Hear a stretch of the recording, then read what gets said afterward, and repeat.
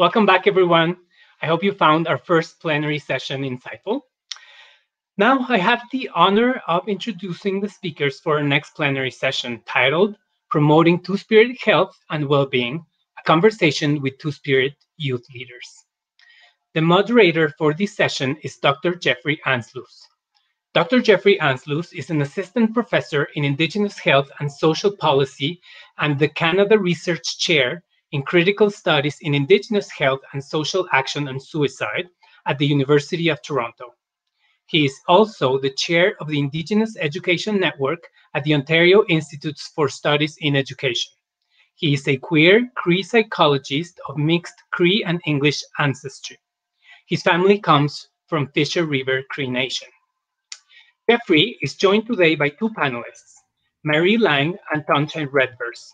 Mary Laing is a queer Kanien'kehá:ka scholar of mixed Haudenosaunee and Irish, Scottish, South African settler ancestry. Her family comes from Six Nations of the Grand River and she belongs to the Turtle Clan. Mary holds an honors Bachelor's of Arts in Sexual Diversity Studies from the University of Toronto and a Master's of Arts in Social Justice Education from the Ontario Institute for Studies in Education. She currently works as a writer, researcher, and educator in various capacities, and she is a youth leader with the Native Youth Sexual Health Network. Welcome, Jeffrey. Welcome, Marie. And Tunchai is a Dene Two Spirit social justice warrior, writer, creator, performer, and facilitator from Treaty 8 territory, Northwest Territories.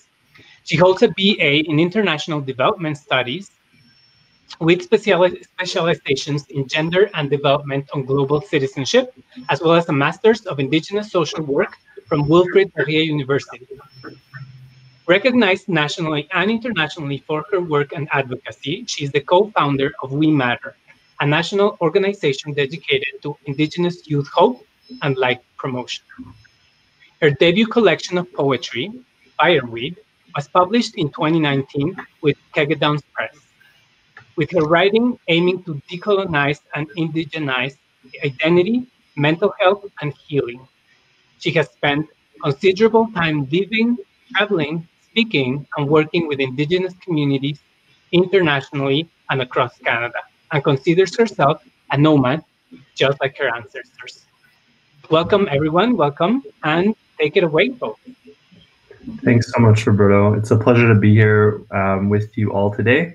Um, and thank you for bearing with us as we navigate uh, life in Zoomland. Um, we've had some fun this afternoon already navigating technology, but I'm hopeful that we'll be able to have uh, a nice chat together today. We are so, we sort of talked about this session as being a fireside chat, and I'm actually beside an empty fireplace, so I feel like we're almost there.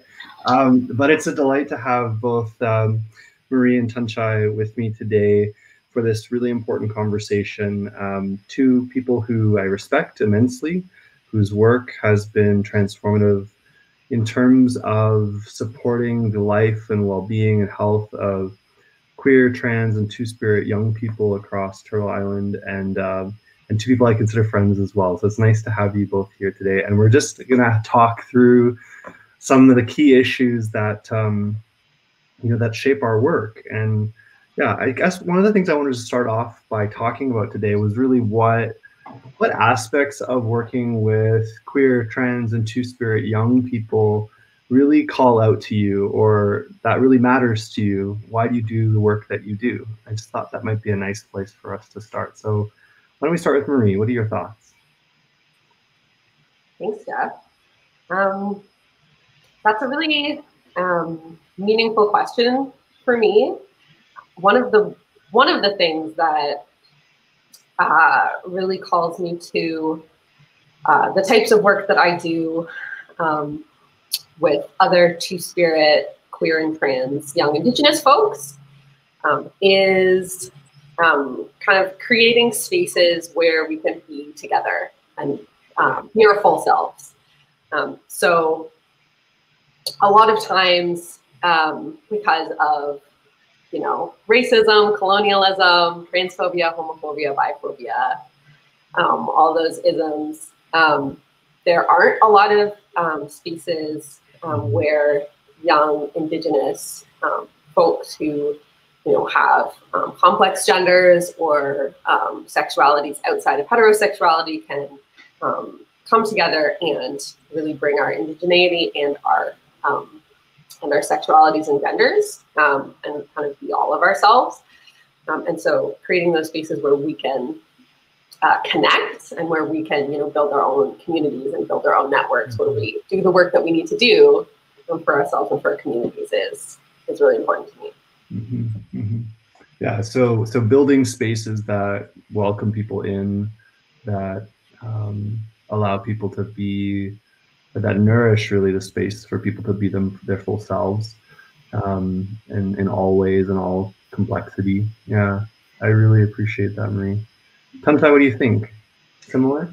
Yeah, for me, this this work is so deeply personal. Um, having grown up a young Indigenous queer person um, and still being a young Indigenous queer person today, and uh, growing up as a young Indigenous queer person, um, those different parts of my identities have been a long journey, so to speak, mm-hmm. in understanding um, and and really coming into myself and you know what holding these identities mean for me. It was never just you know i'm a like at a young age it was never i'm i'm, I'm queer i'm indigenous and i'm proud.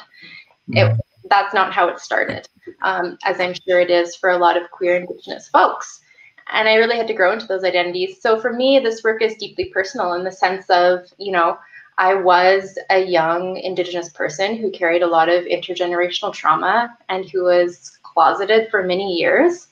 And um, I do this work because I know what it's like. I know what it's like to feel alone in my body, to feel alone in a, a very populated and busy world. And so I do this work in order for other young Indigenous queer folks to know that they are not alone um, mm-hmm. in whatever it is that they are questioning or experiencing. And so I think the work that I do is really a call out um, or a hand reaching out to those young folks to say, you know what, I'm here with you. We're all mm-hmm. here with you. Mm-hmm. Um, we can walk this journey or walk this path together. Mm-hmm. Mm-hmm. Wow, that's beautiful and profound. Um, yeah, I, I, it's it's funny the title of this talk. In talking with Indigenous youth leaders, I laugh because I don't feel like a youth anymore, but I don't feel like it was that long ago either. Um, and I know each of you now work when I when I met you, very much were like identified in public spaces as Indigenous youth leaders, but I now know very much are in roles of mentoring youth, and and so there's this constant movement between our like roles as young people and as um, leaders in our community and also mentors and aunties and uncles and and, and caregivers in a variety of, of ways. Um, and I just really appreciate the way you both bring it back to like our own stories and our own lived experiences of, of what it means to navigate journeys of understanding oneself and and understanding relationships to communities. And I think, you know, my own learning, I think I'm still even, you know, at this stage of my life, navigating this relationship to this this legacy and these movements of two spirit people. Um, i think it hasn't always been like a direct like yes i am two spirit or um, like positioning myself in relationship to, to, that history has been a journey uh, for me. And so i guess i'm wondering in what ways your work if you were to sort of trace that what ways your work connects to two spirit people and movements and story? Um, how would you like does that question make sense? I know marie you've written about this um, in your in your graduate research and, and your forthcoming book which is going to be amazing. Um, but what are your thoughts yeah big question big question um, well i think that i mean maybe this is like a stereotypical indigenous person thing to say, but like I think about my ancestors a lot, um, and um, including like uh, like queer, trans, two spirit um, folks, like ancestors, like ancestors near and far. So like long folks who lived a long time ago and folks who um, folks who uh, lived only a short time ago, and of course our elders, grandparents, aunties, and uncles, and and envies of all genders who are with us now. Um, and I think that you know in my um, in my research, like I.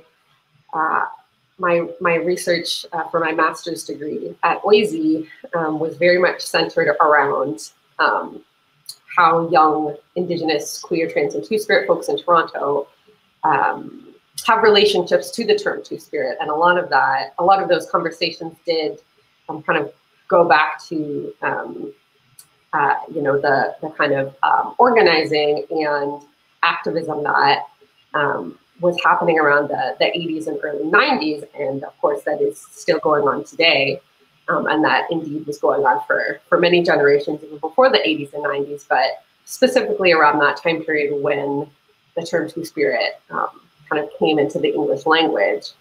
Um, and I think that one way that the that that history, um, you know, and the the histories that and the kind of legacies that our ancestors and, and grandparents um, and previous generations of queer Indigenous activists have left us um, are really um, something that a lot of uh, young queer trans and two-spirit Indigenous folks that I'm in a relationship with really want to talk about and really want to have um, those like really get into those those really deep and rich conversations, um, particularly around um, oftentimes like what um, what what this history means for us moving forward. Mm-hmm. Um, and so it's kind of um, for me, it's kind of always those two those two sides and then us kind of in the mm-hmm. middle in the present. Mm-hmm. Um, gosh, I really don't know if that answered the question. No, that was, I mean, what do you, would, I, did that spark thoughts for you too, Chanshui? Yeah, for sure. Um, it's funny that you mentioned, you know, the outgrowing of the youth, because I'm definitely still, I'm, I'm still considered a youth, and definitely feel like I'm, I'm aging that as well. I'm, I've transitioned to the the auntie uncle role, um, and that mentorship role um, with a lot of the, the young folks that I've spent time with. Um, yeah, I guess my legacy, so to speak, was co-founding We Matter, uh, which was briefly mentioned. And We Matter is a national Indigenous youth-led movement dedicated to creating spaces of support, hope, and healing for Indigenous young people, um, you know, of all genders, sexualities, First Nation, Inuit, Métis, like a whole diversity of Indigenous young folks. And that came out of, you know, the direct experience that I shared around that feeling of aloneness that I think a lot of young Indigenous and especially young 2S LGBTQ Indigenous people experience. And so, what We Matter was all about, I'm not working uh, with We Matter in a day-to-day capacity anymore. I've I've passed on the baton, um, but my years of working with We Matter was really um, like Marie was saying, creating these spaces for Indigenous young folks, um, diverse Indigenous young folks to come together and share and unpack histories, um, learn from each other, build connections, build community. And those spaces are so incredibly important um, because they're not always easy to access.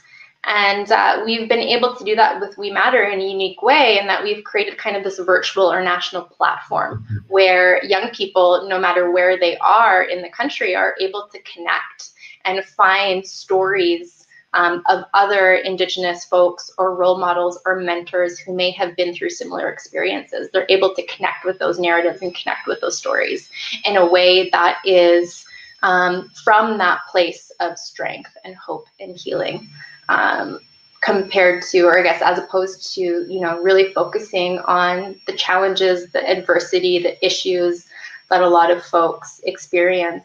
Um, we work a lot in kind of reframing conversations around identity um, so that they do feel hopeful and strength based. Mm-hmm, mm-hmm. Yeah, I, I really like what you're saying at the I mean all of it was great. I, I love We Matter. If you don't know about We Matter, learn everything you can. but what you're just saying about the end about like reframing, like um, I know that each of us in, in various contexts before have had a conversation around sort of the trouble or the problem of description and how um, we so frequently um, get asked to define or to i know actually i think jesse jody and rocky were even talking about this like in the previous session about being asked really um, damage oriented questions um, and sort of um, trying to describe, trying to make legible for everybody but Indigenous people, Indigenous people's experience and how how difficult that can be. Um, and I guess, you know, you've already started speaking a little bit, Tunchai, to the types of, you know, frames of reference that we want to be having. But I guess I'm curious to hear maybe a little more from you and then and Marie about, you know, the that sort of tension between the types of conversations people keep asking us to have versus the conversations that um, two spirit, queer, and trans young people not only want to have but are already having. Mm-hmm. Um, what do you think? Yeah. Um, for the past five years, uh, I have been on a lot of panels um, and done a lot of presentations and been on a lot of roundtables and tables and you know government tables and mental health tables and I've been I've been in in, in these spaces um, for many years and I have to say that the conversations that are happening at many different levels are not varied. Um, oftentimes it's the exact same conversations that are happening over and over again um, in regards specifically um, the work I do, Indigenous youth mental health and uh, 2S LGBT plus mental health. And um, a lot of the time, the framing of these conversations are, you know, what are the challenges? What are the issues? Um, what is impacting, um, you know, Indigenous young people, queer uh, trans Indigenous young people. It's it's it's deficit focused, and those conversations are really exhausting because you know we as queer um, Indigenous young people, we know what issues are. We we walk through this world day to day, experiencing these things over and over and over again, and that's not what we want to be talking about. We want to be talking about, um, you know, how do things change? How do we you know, how can we walk through this world so that we aren't experiencing those same things over and over and over again? Mm-hmm. And those are the conversations that I'm interested in having. And those are the conversations that I want Indigenous, um, queer Indigenous young people to be having um, because it opens, it's like, you know, cracking windows and opening doors um, that just feel so shut a lot of the time. And I, I, I want spaces where we can think critically and openly about like envisioning beyond the reality that's in front of us. Mm-hmm. And I mm-hmm. think those conversations aren't had enough. Mm-hmm. Mm-hmm. Wow. What do you think, Marie? Absolutely. Yeah. Thank you for all of that, Tunchai. I mean, what kind of comes to mind for me is a phrase that has been um, kind of circulated a lot the past year of like this idea that we keep each other safe um, and kind of um, whether that's around like abolishing the police, um, all com- all of these conversations that have kind of come to the fore um, over the past, you know, what feels like the decade that has been 2020 so far. Um, still eight weeks to go, but um, I think that one of the things that um, is uh, important to kind of understand in terms of um, in terms of the conversations that we uh, want to be having as um, two spirit queer and trans indigenous young people um, is that you know a lot of a lot of the time you know we are the folks um, who are you know already um, providing uh, you know the kinds of support and um, and kind of yeah i guess all kinds of support to one another um, mm-hmm. i i am thinking about something that uh, a really dear friend and colleague one of my colleagues at the native youth sexual health network um, often says is that um, you know like uh, it's not that um, kind of as Tunchai was saying it's not that uh, it's not that like we need to know more about the issues or challenges. It's not. It's not actually even like um, like Indigenous Services Canada or like any any kind of healthcare provider actually I think that like you know a knowledge of the issues and challenges for them is key, but also it's not like we need to be telling them more about um, about the issues so that they can provide um, the kind of health services that we want to see. It's that folks need to be resourcing our communities for what we are already doing for one another on an mm-hmm. everyday basis. Mm-hmm. Like it's truly like we like we do crisis intervention for one another. We um, provide support to one another. It's like mutual aid has a has a really long and really beautiful history in Indigenous communities, and queer and trans Indigenous communities are no exception to that. And so I think that you know that's a piece of the conversation um, that also kind of informs the piece around you know what are the what are the conversations that we're already having and that we want to um, you know be resourced to have have more time to have um, kind of thing. Because oftentimes because our communities are you know purposefully kept in crisis by settler colonialism um, you know the conversations that we um, want to be having and are having around things like um, access to ceremony and culture things about you know our languages and um, revitalizing them and keeping them around mm-hmm. um, you know like learning the things that we need to learn in order to you know exist as um, as our full selves mm-hmm. um, in order to um, have those uh, conversations we also kind of um, it would it would be helpful i mean we're already having those conversations alongside all of the other things we're doing but it would be helpful um, you know to to be uh, to have our communities resourced in a way that um, that allows us to um, you know do the eight million jobs we're doing with with, yeah. with, some external support um, as well. So there's there's always that tension of kind of you know like there's there's the piece that we do need to talk um, about the about the all of the all of the colonialism pieces, and then also you know we're always already um, already kind of light years ahead of that in in terms of our own conversations and how we're managing it and um, how we're thriving despite all of it, right? So there's that that tension all the time.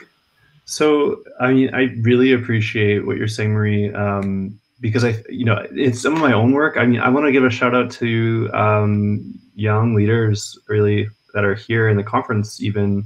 Um, I'm thinking about folks from YouthCo and the USNOAS program, which I get a lot of opportunities to work with directly. You know, the philosophy of this program is young people taking care of each other. And I think um, a lot about how powerful that is and how um, sometimes it's like formal systems can get in the way um, by trying to, you know, how trying to sort of connect to and um, make sense of their lived experiences when really what you're talking about, Marie, is about people with power actively um, in you know de- decentering themselves and reallocating their resources, whether that's material or otherwise, towards really seeing young people lead the types of change processes that they want, especially in the context of Two Spirit um, community. Um, I guess so. As like a, as a researcher and as a psychologist who works a lot with Two Spirit people, you know, I think a lot about this when people hear a conversation like the one we're just having right now, people say, you know, they think, oh, what we need to do is strengths-based work that like, you know, we don't ever talk about damage. We don't ever talk about deficits. It's almost like we can only talk about the good stuff, but we will fail. I've seen it sometimes happen where health researchers, especially, almost like fail to talk about some of the sources of distress. And you know, Marie, you you explicitly named colonialism. You named racialized policing. Um, but I guess one of the questions I have would be about like how do we have conversations about um, you know real threats to well-being for our communities um, while at the same time anchoring that within the vitality of our and the strength of our communities. So that sort of tension. And you've both been speaking to that, but I know when we spoke previously, we were sort of talking a little bit about more holistic ways of speaking. And I wonder if you had any thoughts on that, Tunchai. Mm-hmm. Yeah, I have a lot of things coming to, to my mind. Um, so I'm going to try to kind of sift through it all um, and formulate kind of uh, an answer.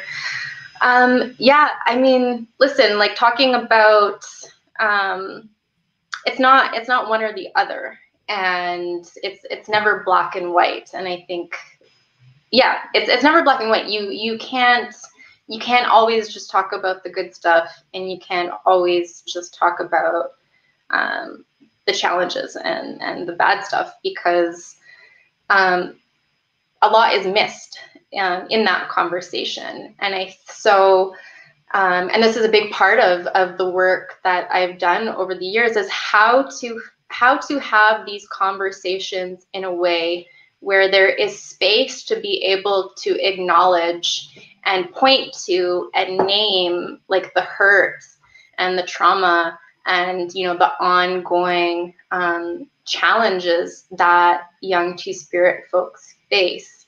Um, there needs to be space for that um, but i think there's a difference in in holding that space in a good or an intentional and a thoughtful way you know so many times um, i've seen this where you know a young two spirit person gets invited to a table and is often, you know, the only two spirit person or the only indigenous person at the table.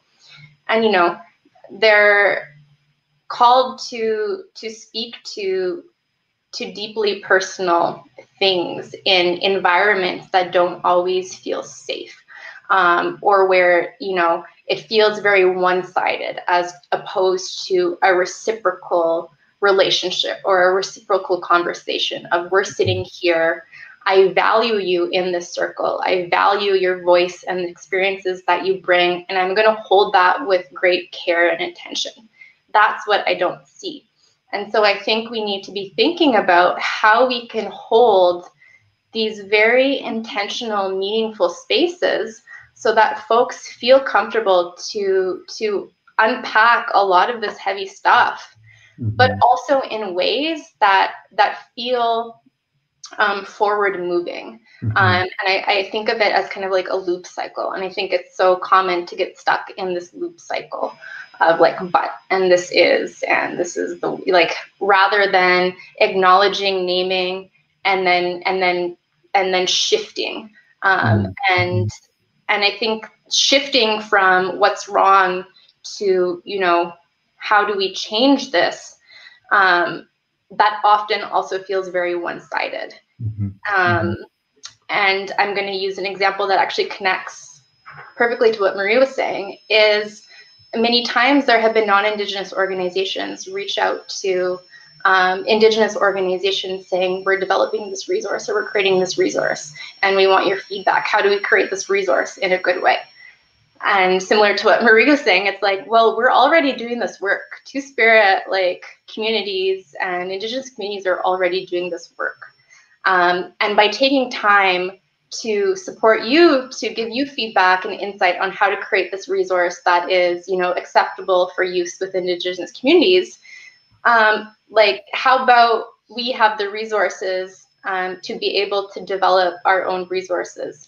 And so oftentimes I feel like my time has been torn to educate um, and kind of unpack my own traumas and histories for other people rather than spending time with my own community. Mm-hmm. And it's gotten to a mm-hmm. point where I've had to be very selective in choosing the spaces that I want to enter in. Um, mm-hmm. And I think that would be different if those spaces, again, were a lot more intentional um, in in having conversations. And I think for folks hosting those conversations, it's asking, you know, yourself, why am I inviting this person here today? Mm-hmm. Why am I inviting this two spirit young person to this circle? What is my intent with that? And I don't think folks ask themselves that question enough in these particular spaces. Yeah, the the whole like um, death by consultation is like a a very pervasive practice that I think actually it's really good for us in a context of a conference like this to really pause and think about like you know in our attempts to be community engaged in research to really make sure that everybody is at the table um, it's it's also equally important not to treat um, two spirit people as sort of um, token stakeholders and not actually substantively involved in the leadership um, and design and um, you know the, the at the center of the care practices that we're envisioning and i mean I, I mean the types of care practices two spirit young people are envisioning are are effective. They're beautiful. They're transformative. You know some of the work that we're doing in in my um, research at the moment is really focusing on the ways that young people are you know lifting up mental health practices suicide prevention practices cultural renewal and language reawakening practices sexual health practices um, you know these are these are the things that so many organizations are trying to somehow do but if there was in, in a sense a greater um, material resourcing of, of two spirit young people and two spirit communities that work could flourish more fully without replication without um, extraction which is i know another concern that you hold marie. And i wonder if before we sort of pivot to taking questions soon do you have any further thoughts on that dynamic Absolutely. And I think that, you know, in a research context, the ways that um, the ways that that over consultation plays out are are often really specific and happen. Uh, like I've seen them happen even like with with two spirit young people here in Toronto. The amount of consultations and like the amount even for like one city, one group of people in one city um, the like amount of consultations versus the amount of investment in our communities. It's a stark difference. Um, and part of that is the way that, you know, the, the, the research uh, mechanism apparatus kind of kind of keeps rolling rolling on. It's kind of steamrolling everything in its path sometimes. Um, but that's I find that that's often um, what like a bit of the, the crux of it is around mm-hmm. you know there's always there's always research dollars and there's always some some either like indigenous faculty in university and you know like allies at city hall always ways to get that research money and there's there's very very infrequently the um, the actual material resources to follow up on any of those mm-hmm. mm-hmm. you know, recommendations and um, and things like that. And it's not, uh, I mean, like research is research in indigenous communities is a whole a whole other conversation that we um, can have. But um, so it's it's a it's a problem in research, and as we see with um, pretty much every consultation that any government body in this country has ever done mm-hmm. with indigenous people, it's a strategy, um, you know, of continued oppression as well. Like we mm-hmm. have the we see it, we've seen it with um, the MMIW um, final report. We've seen it with the TRC. We saw it with RCAP in the 90s. It keeps it keeps happening, and that's for a reason. And so I think that um, you know, no recognizing that pattern is mm-hmm. part of um, is part of the key to uh, dismantling it and interrupting it. Maria and Touch, I really appreciate your thoughts on that. I think it's a very like bold caution to the CBRC summit to really reiterate um, that we could find ourselves complicit in the very practices that oppress people in our desires to support two spirit communities. And so that that really being careful and thoughtful about how we do that work is is such an important thing. I have two questions i want to ask before we pivot to the audience. One i think given the theme of this conference on resistance um, i wanted to ask this question about the types of narratives of sexuality and gender that are prominent or that shape the lived experiences of two spirit, queer, and trans indigenous young people, and what ways that these communities, our communities, are resisting and refusing these ways of being framed. Um, Tunchai, what do you think? Yeah, I love this. Is this is what I love to talk about.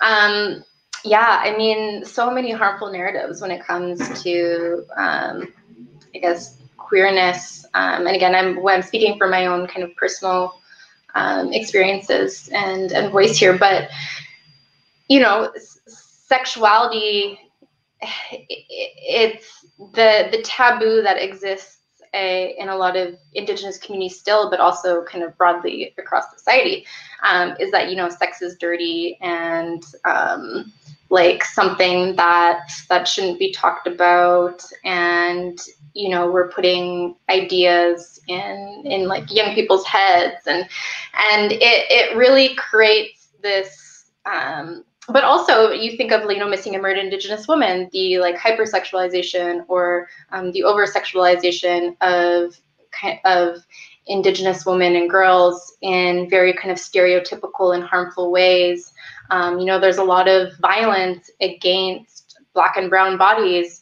indigenous bodies queer and trans bodies and so the the narratives that exist for two spirit people are you know um, the violence that is constantly inflicted upon community.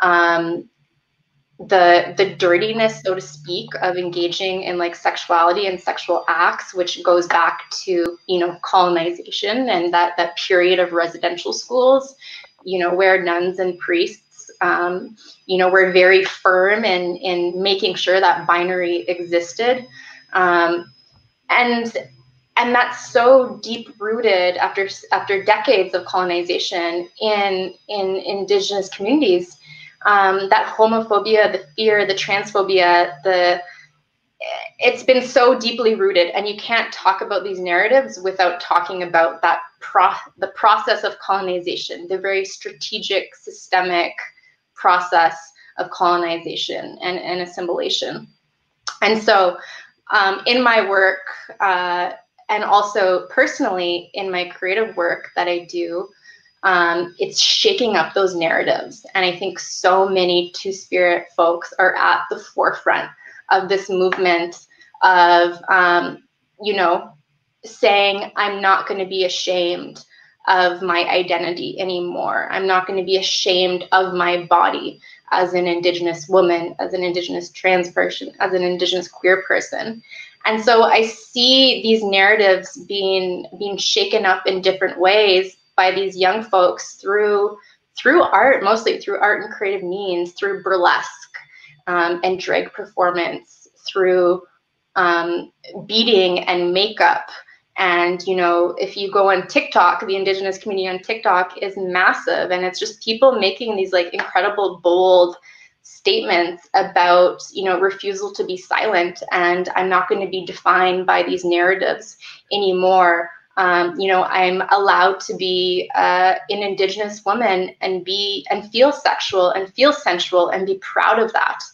Um, and i could i could just go on and on about the the different examples of folks resisting those narratives mm-hmm. but i think um, like i would love to I would love more spaces where queer and trans indigenous folks could feel comfortable um, talking about you know their bodies and sexuality and gender in ways that feel you know empowering that feel powerful that feel um, good because the narratives out there um, you know they they go against that and it, it, means that a lot of young Indigenous and a lot of queer Indigenous folks are, are growing up thinking that, you know, who I am is wrong. Um, and maybe who I want to be is wrong. Mm. And, uh, yeah, it's, it's, that's harmful, but I'm hopeful. yeah, you're talking about like pretty profound decolonizing work that, that goes further than just saying like we're against stigma it's like unsettling the foundations of shame, unsettling the foundations of how black and brown bodies, how trans bodies, how two spirit and queer bodies have been marked for a type of erasure. Um, I, I just, I so appreciate that, Tunchai. Marie, do you have any thoughts on this question?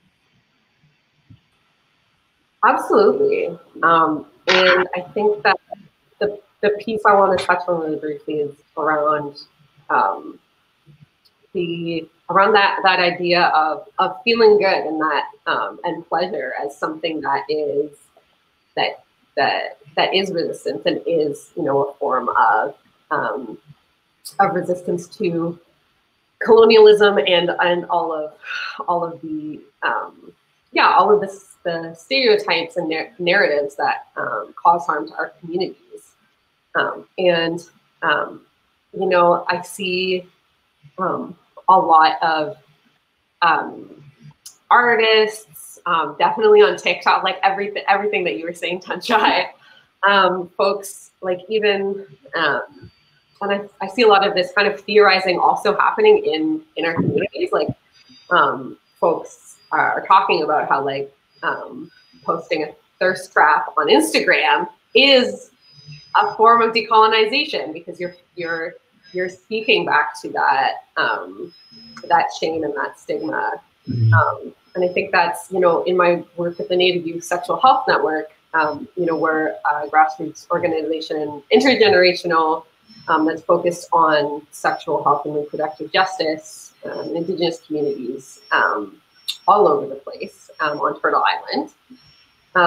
but you know a lot of a lot of what it comes down to is um, kind of is is that um, that pleasure and, and, feeling good element, and then I think um, it's something that you know I've I've been thinking about a lot, kind of in 2020, and thinking about how um, pleasure and rest, um, you know, are really uh, important parts of um, of of the work you know, what we're doing. Mm-hmm. Mm-hmm.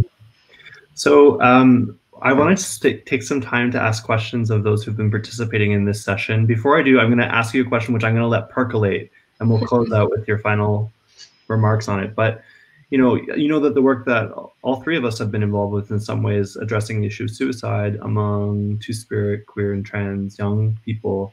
Um, and my dear friend and colleague Jennifer White often says, like, we need to shift towards the question away from preventing death towards asking ourselves, how do we envision worlds worth living in? Um, and so I think about that a lot in my work with Two Spirit community, um, like the type of worlds that we are building, the types of ways we are imagining ourselves into a future. Um, and so I want to ask you to think about that as we take these questions from the audience, and then um, we'll finish up with your responses to that question.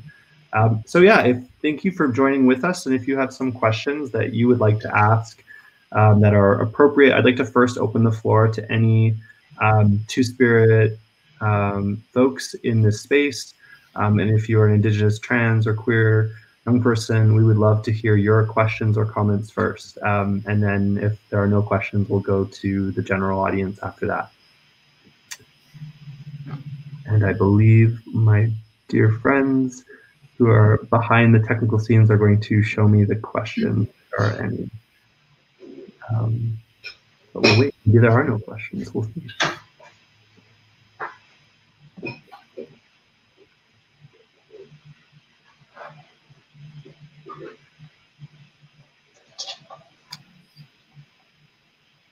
Um, okay.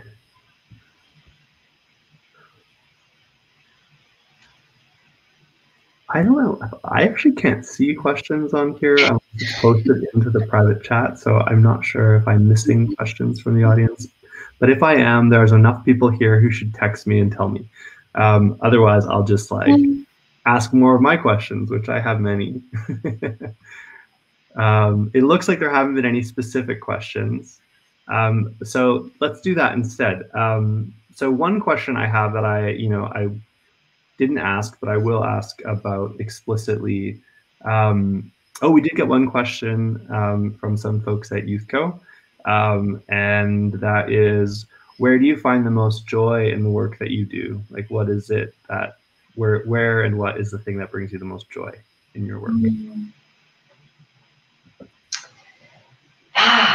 Yeah, this work is hard and it's exhausting. And, um, you know, there are days where it feels like you're pushing multiple boulders uphill. Um, but I think the, the the small wins or those moments of joy for me are seeing the like um, aha moment, so to speak, in the young folks that I have been honored to work with. Is you know there's there's usually this moment for me where it clicks and they're like, whoa, I'm not I'm not the only one hmm. who's who's gone through this. Um, and it, it's so clear um, when that moment clicks and you see it um, in their face or in the questions that they're asking.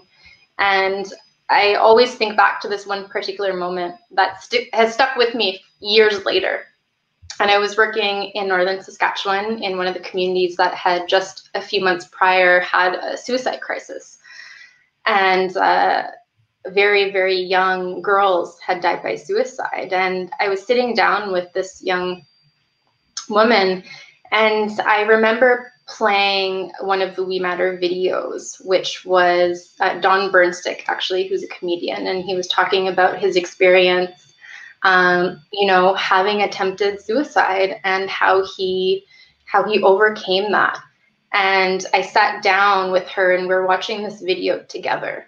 And I remember this moment where the video ended, and she turned to me and she knew Don Burnstick because Don Burnstick had been to her community doing shows, and it was like, wow, like he he's had experiences with suicide, and it was like, yeah, um, and it was this moment of of of truly believing that you know that she wasn't the only one, mm-hmm. and in that moment knew that there were other Indigenous, you know, role models and mentors um, that she could look to and see herself in. And so there are moments, um, many numerous moments like that, where um, the young folks that I've worked with feel a sense of connection to someone else or the sense of belonging. Um, and it's like their circle has expanded in a way. And I think it's so beautiful. And those are the moments that I live for.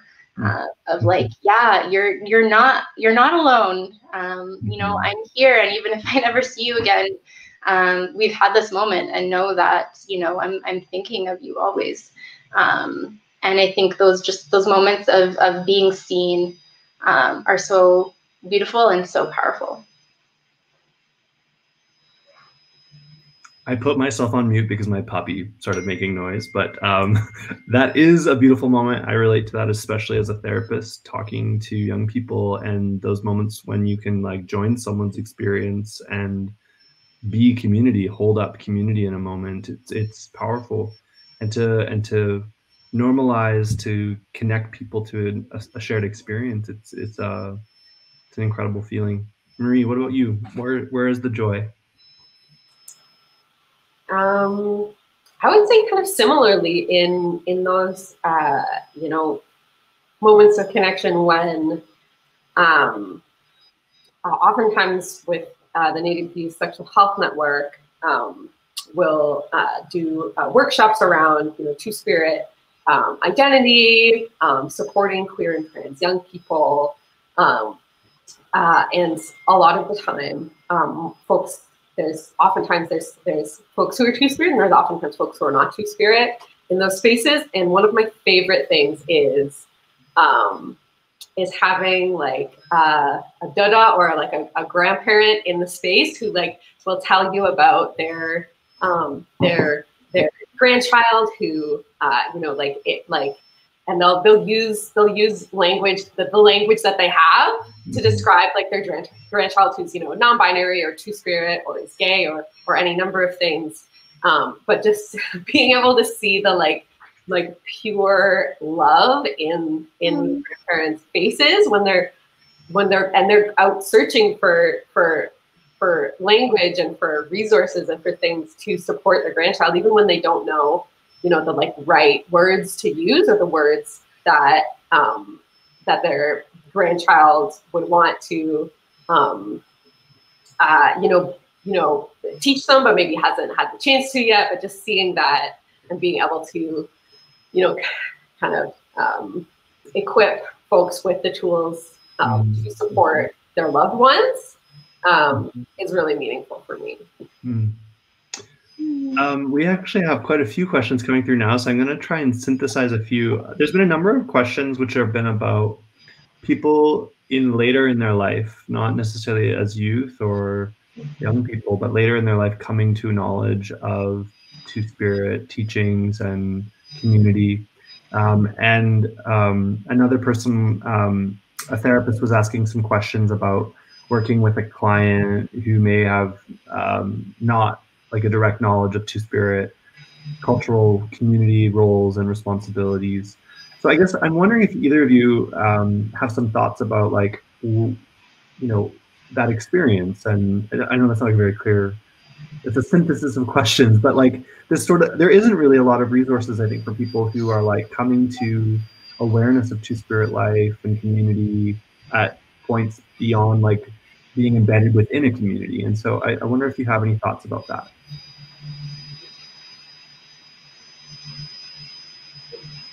Maybe you want to start? it's a tough question, but I'm down. I I'll I'll dive in. I'm down to dive in. Um, yeah, I mean, I it, it is it's hard. Um, I think that that's one piece of of, of the answer that it's um, hard. I think that one thing that has grown in the last few years um, is um, online spaces to connect with other Two Spirit folks. So I think that that's uh, an important piece. Um, and you know, there's uh, kind of that there's the annual Two Spirit gathering um, that you know went virtual this year because of the pandemic. Um, and in, I think in terms of in terms of um, pieces around um, culture, I think that that's um, think that's oftentimes tougher to access for many reasons um, and tougher to find in, in, virtual spaces as well, thinking about our current situation. Um, but um, I mean, not to like toot my own horn, but I wrote a small zine based on the uh, the research kind of that I did in my master's and um, and so I think, and there are other kind of, you know, like those pockets of resources kind of out there online mm-hmm. Um, mm-hmm. that um, that can be found. Yeah. Mm-hmm. Yeah. Go for it. Okay.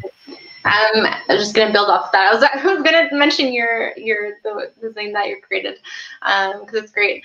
But yeah, I mean it's it's tough. But they're usually two spirit societies or groups um, in various cities. Um, like I know the Edmonton Two Spirit Society is a very like active one. Um, so it depends on where you're located, just um, you know, seeking out those local groups. Um, but there are there are materials out there, and I guess I would say, you know, look for content by Two Spirit individuals because there there are beautiful books um, be it you know fiction or nonfiction, memoirs, um, poetry, podcasts, music. Um, there are two spirit creators who are very active and they're out there creating. Um, and I can name like you know a number off my head from Jeremy Dutcher to Shawnee um, to Iskwē. Like there are incredible two spirit artists out there, and I think connecting folks to to this community even if it's not a small kind of tight knit community that I can go and hang out with, um, I think of community at a larger scale that, you know, mm-hmm. just by connecting with Two Spirit musicians and uh, books. And mm-hmm. like I know of an Indigenous Queer series that's going to be coming out soon, um, that there are different avenues of building community um, beyond like a group. Mm-hmm. Um, and so that's always a good first step is, you know, if you're non-indigenous or if you are indigenous curating your own list of incredible like two spirit creators um, that you can dive into or connect other people to. Um, and then i will toot my own horn and say that we matter um, actually had launched a two spirit dictionary in the springtime. And the two spirit dictionary was a national campaign um, meant to share definitions of what it means to be two spirit by two spirit people um, mm-hmm. submitting. And so if you go on the We Matter website at wemattercampaign.org, there's actually a Two Spirit dictionary page of various Two Spirit identified folks offering, um, you know, for them what it means to be Two Spirit. And the hope is uh, for We Matter to actually create a physical dictionary, um, like a resource that can then be circulated um, around to communities yeah it, that's just a beautiful i think invitation that and a generous invitation that you both have offered to to come closer to community. And i think one one thing i would say to especially those people here who are not indigenous is to always critically reflect on the reality of that question that like cultural and community alienation is not you know inconsequential. It's a product of a particular history of colonial interference in communities Um, and so I have a lot of like love for the people that are like working at rethreading their lives to community. And I would just say encouragement that there's a well-worn path of many people who have traveled that journey. Um, and beginning with their words, beginning with their music, beginning with their writing is a really wonderful thing. And I know both Tunchai and Marie have uh, books, um, zines, books, poetry, incredible scholarship. Um, Marie has an amazing book coming out next year that's going to be one of the most seminal works on Two Spirit, um, queer and trans Indigenous young people in the world. And, and, you know, just amazing scholarship that you both have done. And um, I just, yeah, I appreciate that invitation towards that that that archive of material. Um, I wanted to ask, uh, there's a few other questions here, two that really stood out to me. One is, uh, I'll just say them both and you can respond, maybe one of you can respond to each of them. One of them is about how do we think we could go about supporting queer indigenous solidarity or relationality transnationally? I want to connect to gender fluid indigenous families and friends in the Philippines, but a lot of these conversations in and of themselves are colonial. Do you have any suggestions for providing support rather than restarting conversations that people may already be having? So that's one question. And the other question was, um, um, what strategies um, would you speak to for holding institutions accountable to your consultation? Um, so two, pick one and run with it. Those are both big questions. um, ooh, yeah, so transnational connection. Um, the first one, can you repeat the, the kind of intent of the question? So being able to yeah. connect gender diverse folks across the world, and especially indigenous, indigenous, gender fluid, um, gender diverse folks across across borders. Um, what what uh, what do you think? Do you have any thoughts on how to how to engage those conversations? Hmm. That's a really interesting question um, one that I, I don't really have an answer to, but I, I love that question. And I think, I think the, the, the larger, the, the bigger a community gets, um, the more, I guess the, the, the easier it gets to navigate the world, very kind of generally speaking. Um, so I think it's a beautiful idea for Indigenous, you know, gender and sexually diverse folks internationally to be able to connect and have those conversations. And I think, in my experience working internationally, um, and touching on just you know stuff I've already said before, is that um, connection, realizing that histories, um, and especially colonial histories in countries around the world, although very different, are also very similar and the mm-hmm. impacts of colonization in various countries around the world are very similar. And so I think that is a connection point or a starting point in being able to have these conversations is, you know, understanding you know what are what are some of the differences in the impacts of colonization that we're seeing but also what are what are those similarities and maybe what are the resources that we all have where we are um, to you know team up and create a global movement or how can we cross share resources and mm-hmm. um, knowledge share with each other mm-hmm. um, is so i'm not really providing an answer to the question but no I, no it's it's but, it's, it's good it, yeah I, I, I think it's just you know there are spaces needed and i think um, you know uh, organizations funders agencies need to be willing to put you know the money and resources to being able to create these spaces. Yeah. um, in you know the, the name of allyship it's you know what can i offer to you? What can i offer um, so that you know you have what you need um, for your community to be able to do that work? Again like marie was saying um, before that we're already supporting each other. So um, yeah, I think it comes down to um, seeing it as, uh, you know, it being beneficial to to put resources to be able to create these spaces. I'm aware that we are out of time, and I, I that's I feel like I want to talk about consultation. I want to talk about like systems change, all that with you. So we'll have to like write a paper or something, or do another fireside chat somewhere. but before I leave, I want to just maybe ask one, like, come back to that question about worlds worth living in. And I've been like, I know my answer, but if you have a sentence, an idea about that question, what would it be? Oh, in one sentence. um, I envision a world where trans and two spirit indigenous young people, um, where anything is possible for us, um, where we can see ourselves as actors and doctors and creators and lawyers and I know that that is a possibility. Um, and I would also, I envision a world of joy and belonging where Two Spirit and Trans young people get to move through their days experiencing more joy than hurt. And I don't think that's a case um, for a lot of folks. And I would like to I would like to see that joy outweigh um, the everyday harms. Mm. Yes, I'm with you on that vision. Marie, what do you think? I love all of that. Um, yeah, I think that oh, like when I when I think about this, um, it's um, a world where we are, have all of us get to have that sense of belonging as Indigenous folks, um, where we're all well rested mm-hmm. and where we have the land back. Yeah. For me, I would say the answer to that question is where there's more space for people like you two to do what you're doing today. Um,